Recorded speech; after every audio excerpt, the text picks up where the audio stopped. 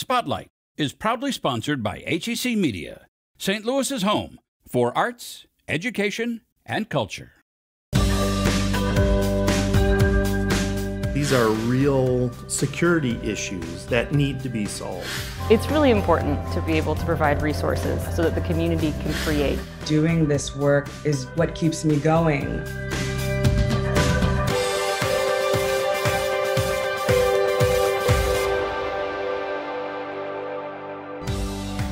Today on Spotlight, an emergency room physician gets a visit from her guardian angel that helps shape her life. Plus, a cutting edge cybersecurity device created by a local company is getting national attention. And then, how two venues are inspiring the community to be more creative. But first, Greater St. Louis Inc.'s Jason Hall talks about his 2030 jobs plan. It's Sunday, and you're watching the Emmy Award winning Spotlight. St. Louis has built an exceptional support system to empower entrepreneurs and small businesses to reach their potential.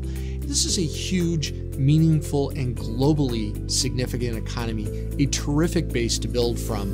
And through the work of Greater St. Louis Inc. and our partners, we are actively out there recruiting new businesses into this market. Jason Hall is leading the charge to take St. Louis to a new phase of economic growth with an unbridled enthusiasm for the region and a practical outlook on the current state of affairs. There is kind of a negativity about St. Louis's future. There's a feeling that, oh, just shut off the lights and lock the doors. St. Louis is done business wise. Yeah. You have some figures that point just the opposite. This sense of pessimism can be challenging. But let's just level set where St. Louis is at. You know, uh, 15 Fortune 1000, including Bunge, which is listed on the Fortune Global list. Roughly over the last six months, this metropolitan region has produced three or four, depending on how you want to do the math, uh, some debate on that, billion dollar startups. This is known as a unicorn. Mm-hmm. Uh, when a startup goes public in a, in, a, in a billion dollar transaction.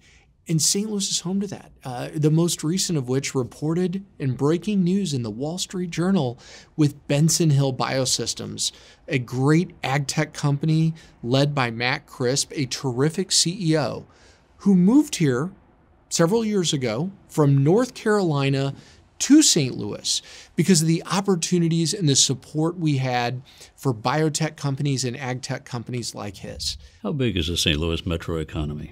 The 15 county bi state metro in Illinois, Missouri, over $180 billion metro economy. And to put that number in perspective, that is roughly larger than half of the individual states in the United States. The STL 2030 Jobs Plan lies at the heart of Greater St. Louis Inc.'s goals to advance the regional economy to the next level. So the 2030 Jobs Plan brings together a comprehensive view of what we need to do to drive inclusive growth over the next decade. Those five pillars. We got to steward an inclusive economy. It's not going to happen accidentally if we don't come together in collaborative ways to move this forward with a common vision and a common agenda. So, in that sense, the creation of Greater St. Louis Inc. was one of the most important things we needed to do under that pillar.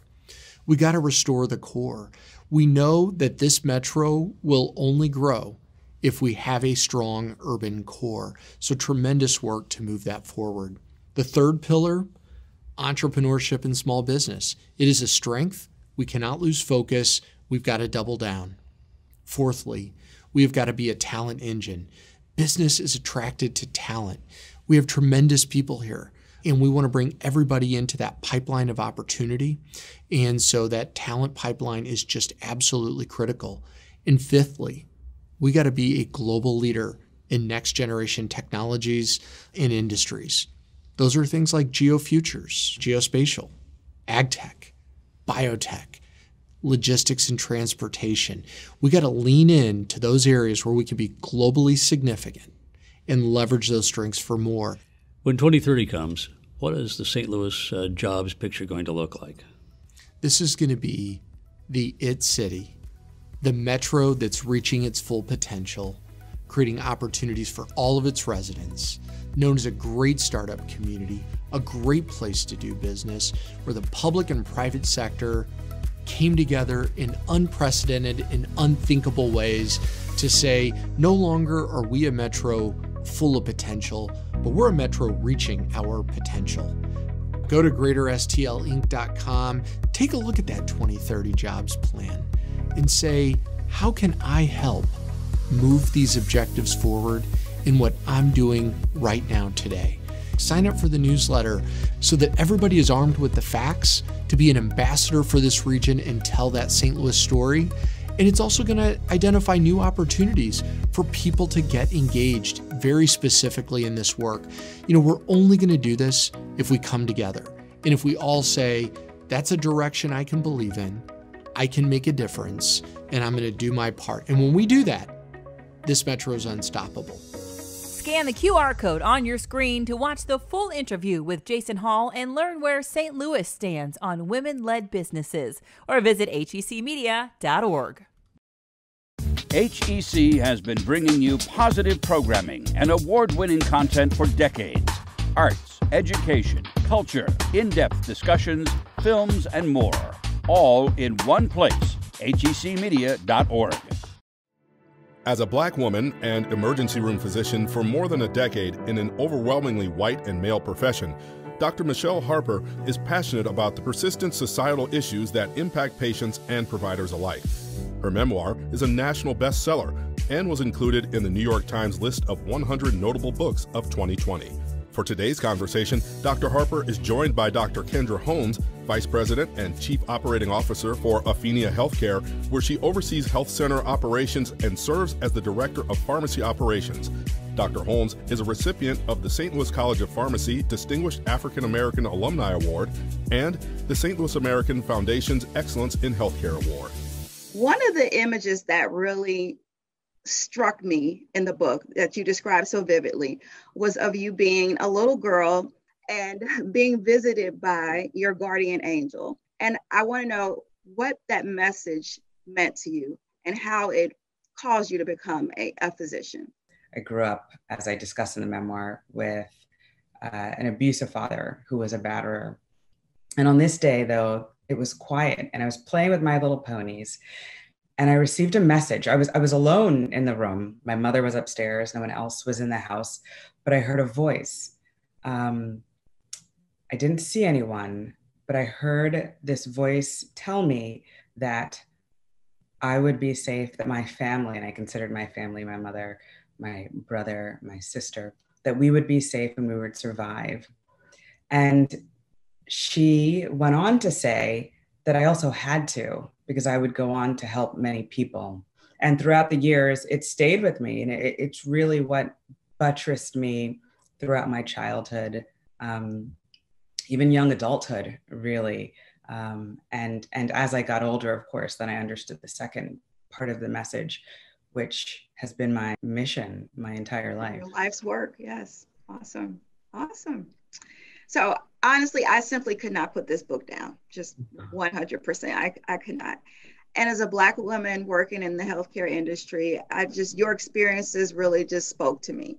So, what encouraged you to write this book? In the ER, I, you know, when I'm fortunate, I can help one person at a time, perhaps one family, maybe even one community.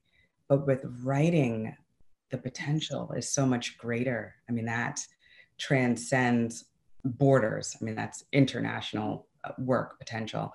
So, so that's why I had to do it. There's a lot of distrust, of course, um, in the medical system and, and, uh, with the medical system in mm-hmm. the Black community. What do we do? How do we start to, you know, dis- dismantle that distrust? How do we get the community to be more accepting of, of the medical system? So, if the system is trustworthy, then people will trust it. so that's that's absolutely true. oh yeah, yeah. Okay, but of course, then that's it.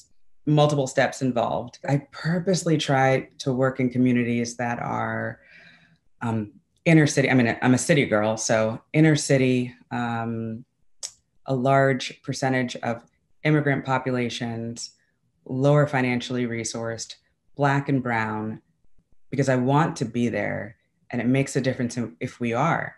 Now, despite my working in these communities, I am also often the only Black doctor, hmm. which is it's unfathomable to me because that is completely not representative of the community we're serving. What keeps me going, what gives me hope is doing this work to change it. Scan the QR code on your screen with your phone's camera to watch the full interview and find out how she lives a life of alignment and the tools she uses to stay focused. Or head to hecmedia.org. HEC Films explore, inspire, educate, and entertain. HEC Films, just one of the many facets of award winning content you'll find at hecmedia.org. We have to have a machine to. Can you see the component? The building blocks of this black box are based in St. Louis. It starts here with QNet Security. The St. Louis company claims the black box technology is the next revolution in cybersecurity the oil pipeline, Colonial Pipeline, and the Oldsmar water. These are real security issues that need to be solved. QNet's Black Box is a new hardware security solution. We are focused on protecting critical national infrastructures. The problem is that a lot of the devices that we're trying to protect, the networks that we're trying to protect, are years, if not decades old. So, what we did is we came up with something where we can drop into the network and we do it in a way that's provably secure. CEO Ron Indeck says this is why his company has contracts with the U.S. Army and Air Force. With the U.S. Air Force, that's a $3 million contract in order to protect what they call communications out at the tactical edge. Army providing them a solution for the next generation network.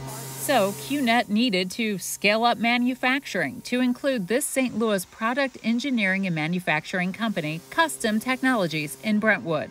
The black box is hardware for endpoint security. We make sure that everyone, every packet, every piece of information that's trying to get through that device is authenticated. We're inline devices, so the only way you can get through that network is through us. 1500 wind turbine scenario, we would recommend something like 1500 of our boxes to go uh, kind of one to one on those uh, wind turbines. For a, a, water system, typically they'll have the water towers that could have many different sensors and pumps and whatever. And we can protect that geographic point of presence with one of our systems. So every time, every place you see a water tower, you could be uh, protecting it or thinking about protecting that from a network attack by a QNet device there. To ensure everything works as it should, the black box prototypes undergo intense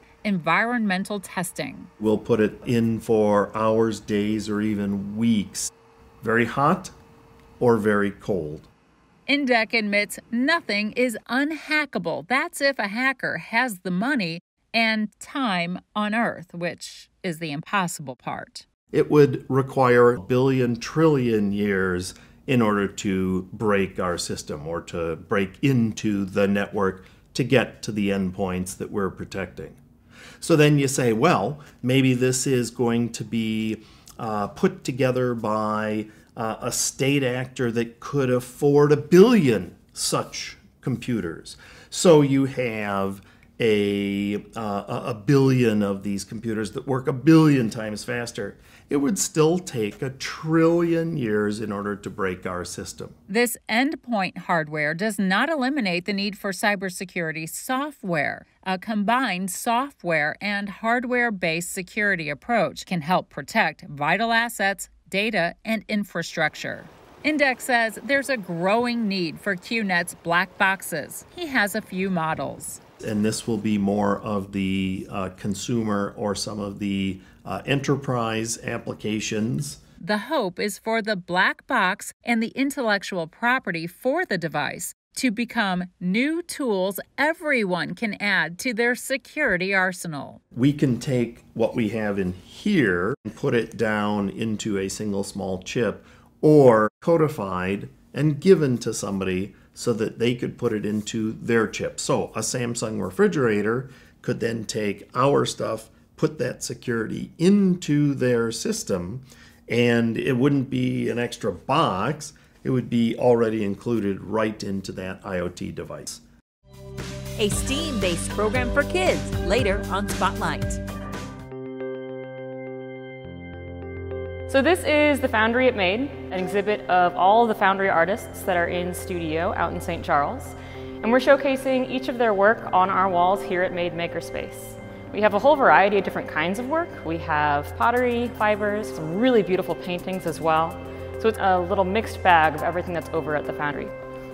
The partnership between the Foundry Art Center and Made Makerspace started in January and they had reached out asking if we wanted to showcase some of our members' work out in their exhibition space. We jumped at the opportunity to show off our community here. We have over 227 makers, artists, designers, and entrepreneurs that we were super excited to show off there. The partnership started with a show of Made at the Foundry here at the Foundry Art Center, uh, highlighting a lot of the artists in their studio spaces and makers and designers uh, in their membership. And from there, we transitioned that into an art exhibition at Made from the Foundry studio artists here at the Foundry Art Center. We're really enthusiastic about this show because it showcases not just the partnership, but it showcases the artists and the creativity that's happening here at Foundry. We have very similar missions, uh, basically getting art out into the community through events or just membership uh, and showcasing what it means to be a creative person here in the St. Louis, St. Charles area.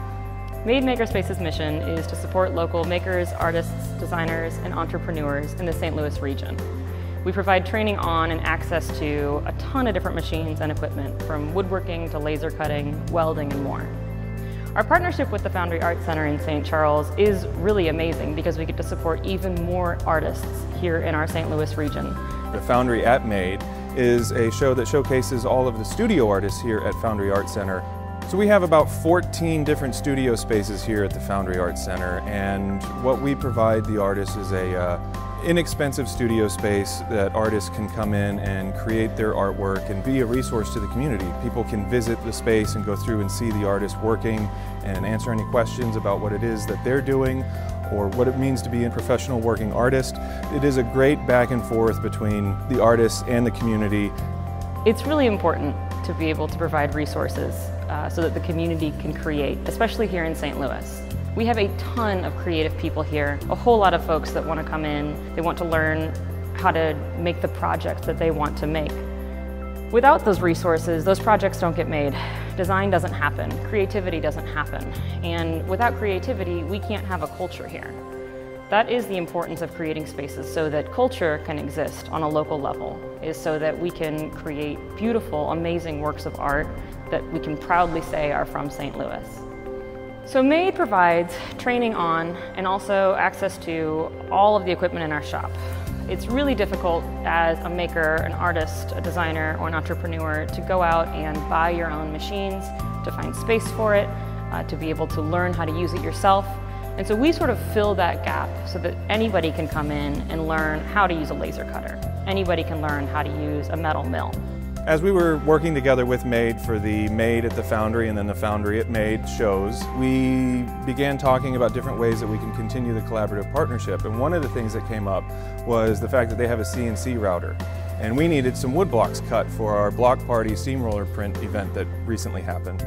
So the folks from the Foundry came out to use Made Makerspace as members in order to make blocks for their woodblock steamrolling event that happened in June and they were able to CNC route out designs that local artists had created. It worked out really well for us because we were able to get the wood blocks cut and uh, just like working with MADE, we reached out to Graphic House to have a collaborative partnership with them. Uh, we were very lucky to have them as partners for the steamroller print.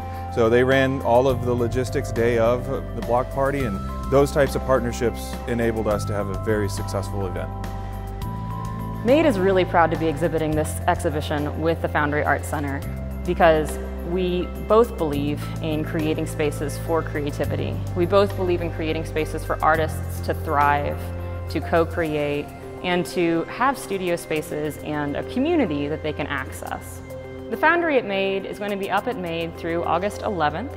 If you want to come by and see it, we're at 5127 Delmar, and you can find out more information at madestl.com.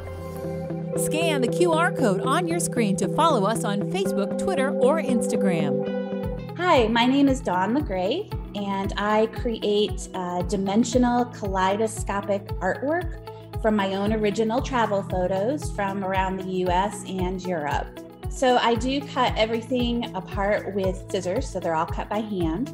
Um, and then I layer them back out with foam in between the different layers to create kind of a dimensional representation of the original photo. So while it might not look like the Eiffel Tower, let's say, it still retains the feeling of the Eiffel Tower. And um, one of the great things that I love to talk with people that come into my booth is that, you know, it reminds them of a special vacation or a special memory that they have of being in that place, be it maybe Paris or maybe New York City or someplace like that. So it's just really fun to trade travel stories with my customers. Um, you know, I hear everything from, oh, didn't we have the best breakfast burrito right outside that, uh, you know, church? Um, to, you know, we shared our first kiss at the top of the Eiffel Tower. So it's just a great way to relive your travel memories on a daily basis. I just also think that it's sort of the mystery behind it here is this abstract design. But then once they learn that parts of it are from a photo, they then can start to pick out those elements and they're like, oh, I see how this is that building. You know, this is, oh, this is the arched doorway or something like that. So um, I think it's kind of at a couple of different levels, um, but the design and the symmetry is what kind of pulls people in and then the discovery of the different elements and how it ties back to the subject matter is sort of what keeps people looking. Scan the QR code on your screen to meet more artists that will be at this year's St. Louis Art Fair, September 10th through the 12th. You can find the stories featured in today's show along with past episodes and more at hecmedia.org forward slash spotlight. inspiring young imaginations to design and be creative. To build and play their self crafted musical instrument is the heartbeat of the Solid program. The challenge of Solid is to create a sound object that produces sound through vibration and is able to change in pitch and volume. SOLID stands for the Science of Learning Instrument Design. It's a STEAM based program where students go through the full cycle of designing and building, creating, and retesting their own musical instruments from recycled materials. One of the things that Solid does is it relates to teachers and kids with something they know music and musical instruments. It fosters their creativity and their imagination there's a lot that they learn. And then the engineering part about how to construct the uh, instrument. They love that because they get to play with recyclable things that they find around their house, but at home they don't think that it's important, so they throw it away. But we collect it at school, and they get to say, "Oh, this oatmeal box could be a drum," you know, or or uh, this bottle, if I put rocks in it, it could be a shaker. Fanny is such an outstanding teacher. To see her in the classroom with her students is so special because her students are just glued to her and they are so responsive to everything that she does in the classroom. It makes me feel really good because my whole process is them getting it. I teach music, movement, and theater games to preschoolers, and I like those aha moments.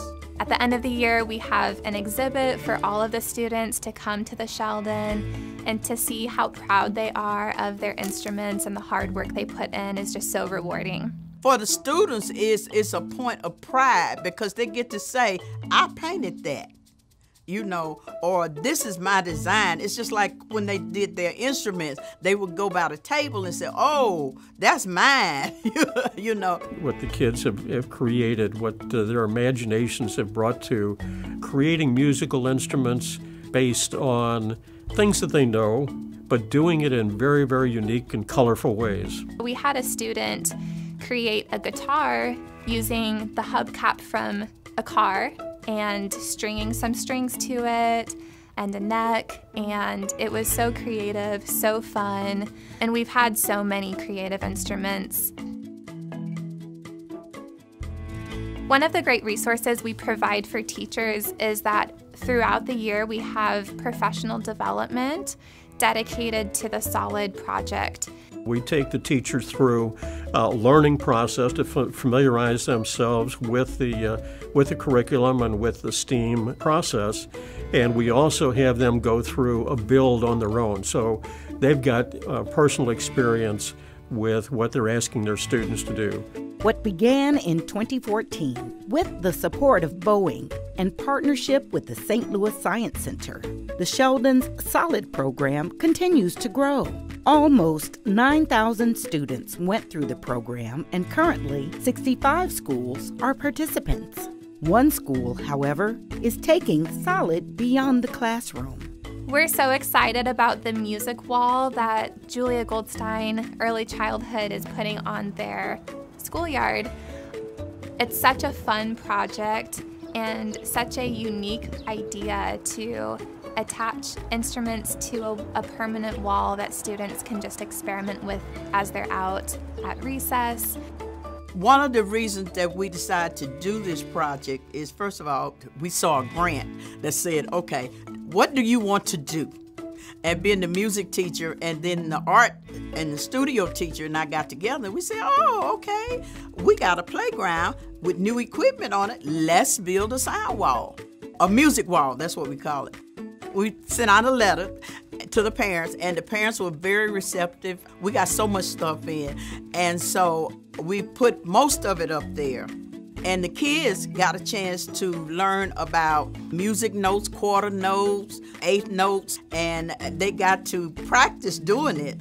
And they're the ones that painted the wall, put the words up there, and painted some notes.